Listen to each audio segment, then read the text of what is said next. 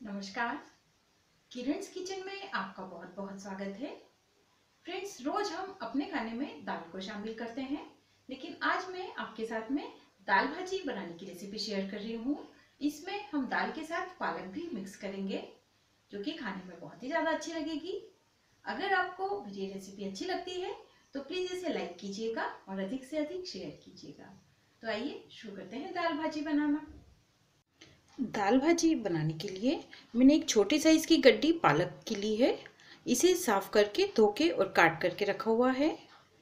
आधा कप तुअर दाल है, जिसे हम अरहर की दाल भी कहते हैं। एक मुट्ठी के करीब चना दाल है, जो कि बिल्कुल थोड़ी सी हमने ली है। ये ऑप्शनल है। अगर आप चाहें तो सिर्फ़ तुअर की दाल ही ले सकते हैं या सिर्फ़ चने की दाल भी इस्तेमाल कर सकते हैं। लेकिन मैं दोनों तरह की दाल मिक्स करूँगी।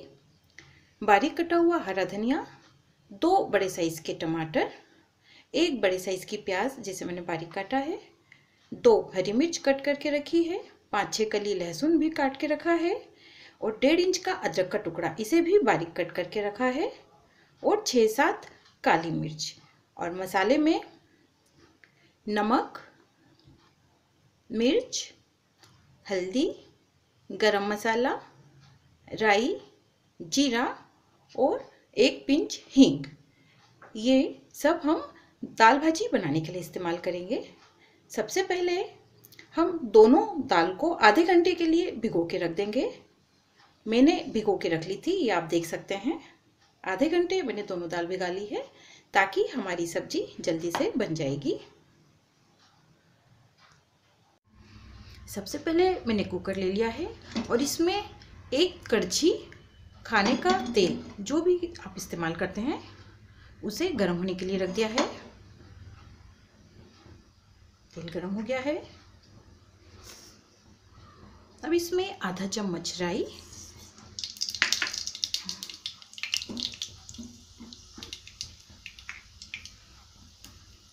राई अच्छे से चटकने देंगे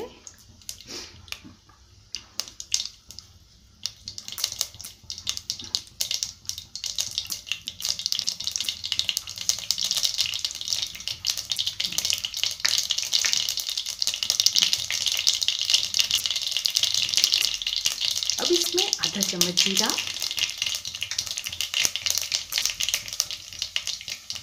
हींग काली मिर्ची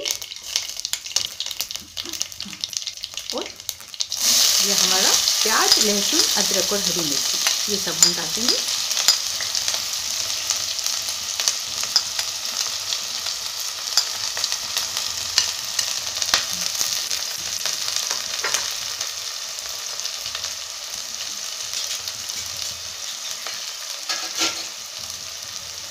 अब इसे दो मिनट के लिए चलाएँगे।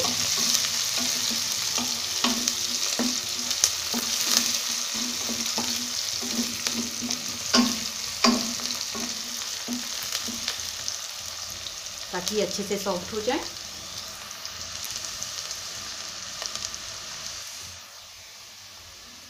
हमारा मसाला अच्छे से सीख गया है, आप देख सकते हैं। प्याज, लहसुन, हरी मिर्च सबका कलर चेंज हो गया है। अब हम इसमें मसाले डालेंगे।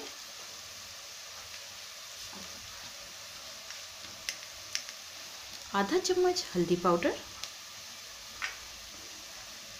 दो हरी मिर्च ली थी, इसलिए एक तिहाई चम्मच लाल मिर्च डालूँगी।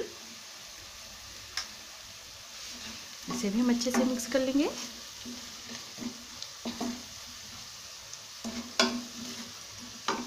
अब हम इसमें कटे हुए टमाटर डाल देंगे।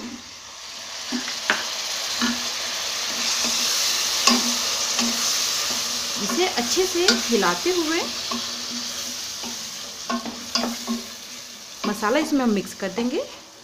और अब लो फ्लेम पर इसे दो मिनट के लिए हम सॉफ्ट होने के लिए ढक कर रख देंगे।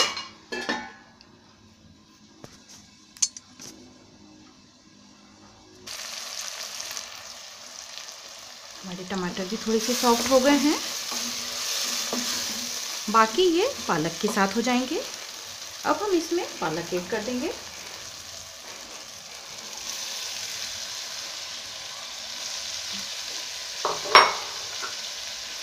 इसे भी अच्छे से मिक्स कर लेंगे।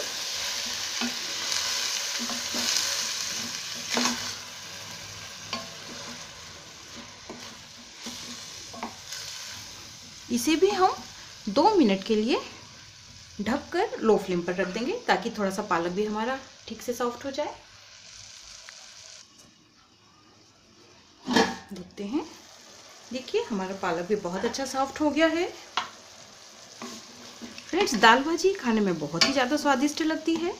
कई बच्चे पालक खाना पसंद नहीं करते हैं। तो आप उन्हें दाल के साथ पालक बनाकर खिलाएँगे तो निश्चित रूप से वो बहुत शौक से इसे खाएँगे।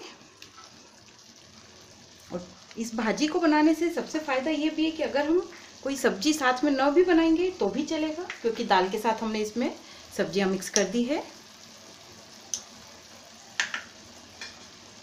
अब हम इसमें दाल डाल देंगे, जो कि हमने धो के भिगा के रखी है।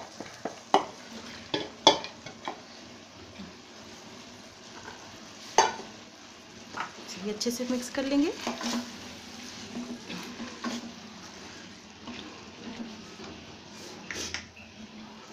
अब इसमें आधा चम्मच गरम मसाला और डेढ़ चम्मच मैं इसमें नमक डाल रही हूँ। नमक आप अपने टेस्ट के अकॉर्डिंग डाल सकते हैं। और जितनी दाल ली थी, उससे ढाई गुना पानी मैं इसमें इस्तेमाल कर रही हूँ। मेरी एक कटोरी के करीब दाल हो गई थी तो मैं ढाई कटोरी पानी इसमें डालूँगी।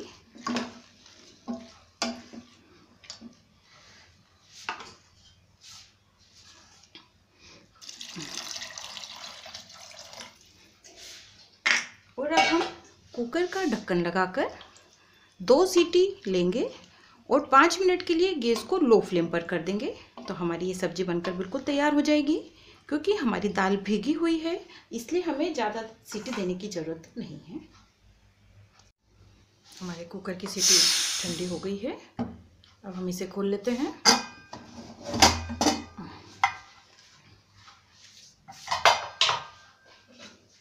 देखिए, हमारी कितनी बढ़िया दाल भाजी बनकर तैयार हो गई है। बहुत अच्छी खुशबू आ रही है, आप देख सकते हैं। देखिए, और इसकी कंसिस्टेंसी भी आप देख सकते हैं। अगर आप थोड़ी पतली पसंद करते हैं तो थोड़ा सा इसमें पानी उबाल कर वो डालकर रख सकते हैं। अब हम इसे सर्विंग बाउल में निकाल लेंगे। ये हमने इसे सर्विंग बाउल में निकाल लिया है। देखिए, हमारी कितनी पौष्टिक और स्वादिष्ट दाल भाजी बन गई है। इसमें हम थोड़ा सा हरा धनिया डाल देंगे। पालक में आयरन और बहुत सारे मिनरल्स होते हैं, जो कि हमारी हेल्थ के लिए भी बहुत अच्छे होते हैं। आप इसे रोटी, चावल, पराठा सभी के साथ एंजॉय कर सकते हैं। इसे एक बार ज़रूर घर पे ट्राई कीजिए। और आपको मेरी रेसिपी कैसी लगी कमेंट सेक्शन में आके ज़रूर बताइएगा। अगर आपने अभी तक मेरी चैनल किरण्स किचन को सब्सक्राइब नहीं किया तो प्लीज़ इसे सब्सक्राइब ज़रूर कीजिए। आपसे फिर मुलाकात होगी एक नई रेसिपी के साथ। Thank you.